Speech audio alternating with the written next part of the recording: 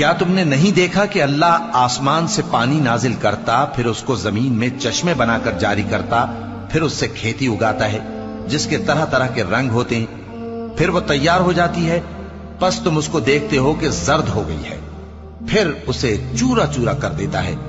बेशक इसमें अक्ल वालों के लिए नसीहत है।